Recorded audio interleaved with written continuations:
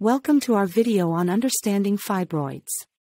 If you or someone you know has been diagnosed with fibroids, you may have many questions, including how much they weigh.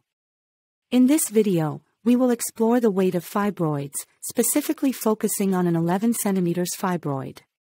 Fibroids are common growths that can develop in the uterus, affecting many women during their reproductive years.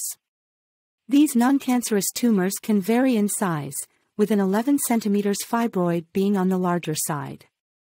Now, you might be wondering, how much does an 11 cm fibroid weigh?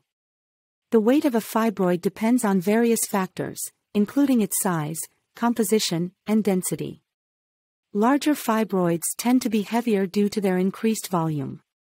However, the weight can also vary depending on the type of fibroid.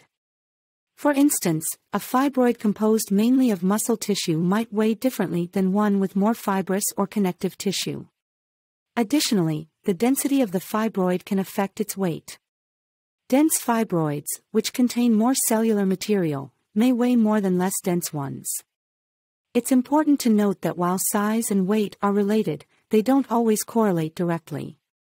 Two fibroids of the same size may have different weights due to variations in their composition. Unfortunately, there's no standard weight for an 11 cm fibroid, as it can vary from person to person.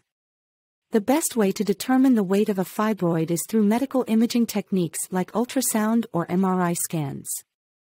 These imaging tests can provide a clearer picture of the fibroid size, location, and density, which can help healthcare professionals estimate its weight.